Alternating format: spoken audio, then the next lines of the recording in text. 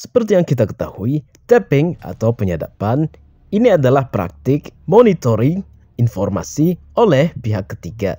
Walaupun lembaga kepemerintahan juga dapat melakukan hal ini secara legal, namun sering kali hal ini dilakukan oleh pihak yang tidak bertanggung jawab. Oke sebelumnya let me welcome you back to my channel. Dalam video kali ini kami akan membahas tentang ciri, tips, serta cara mengetahui dan mengatasi HP disadap di Android dan iPhone.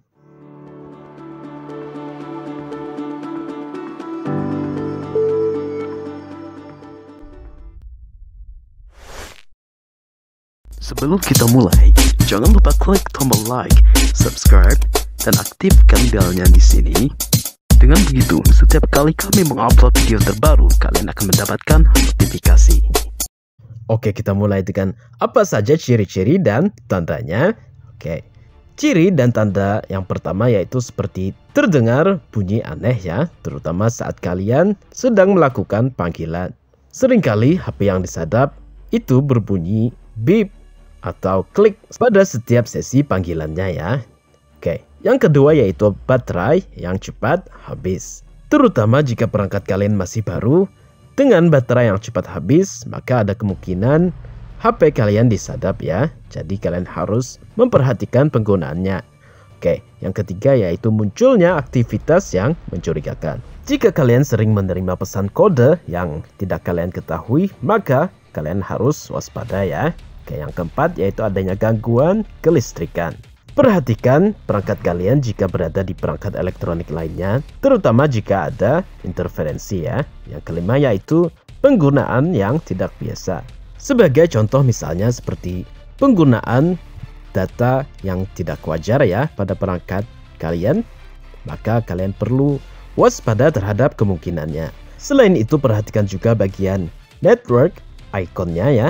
Jika smartphone Android atau iPhone kalian tidak sedang digunakan, maka kalian perlu waspada. Yang keenam yaitu dengan munculnya aplikasi yang tidak dikenal ya. Terlebih jika kalian tidak sedang melakukan download atau pembaruan pada sistem kalian. Oke, jadi bagaimana cara mengatasinya? Oke, langsung saja. Berikut ini adalah caranya. Perlu kalian ketahui bahwa cara ini dapat kalian gunakan di berbagai macam perangkat ya karena ini pada dasarnya untuk melakukan pengecekan terhadap smartphone kita ya. Oke, ketikan bintang pagar 62 pagar pada dial pad atau papan tombol perangkat kalian ya. Oke, jika sudah tekan tombol dial atau hubungkan pada smartphone kalian ya, maka akan muncul informasi dan tampilan seperti ini ya. Pada perangkat yang kami gunakan dalam video kali ini, itu untuk semua statusnya yaitu tidak diteruskan atau not forwarded. Ya, jika kalian mendapati bahwa ada salah satu dari status tersebut yang diteruskan atau forwarded, maka kalian harus segera menghentikan pengaturannya tersebut serta mengamankan data-data penting kalian di smartphone. Ya. Untuk menghentikannya sendiri, ketikkan dengan pagar-pagar 002 pagar pada perangkat kalian ya. Seperti ini. Kemudian jika sudah, tekan tombol dial ya. Oke, kita tunggu sebentar. Ya.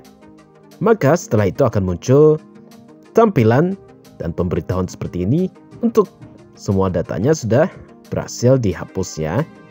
Iya, betul. Ini adalah salah satu langkah yang dapat kalian lakukan untuk mengatasi handphone kalian yang disadap ya. Selain berbagai macam cara seperti menginstal perangkat lunak pengaman, antivirus, dan lain sebagainya ya. Oke kami pikir demikian, semoga bermanfaat.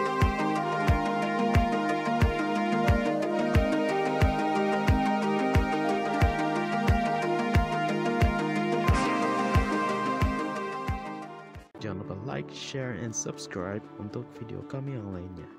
Terima kasih.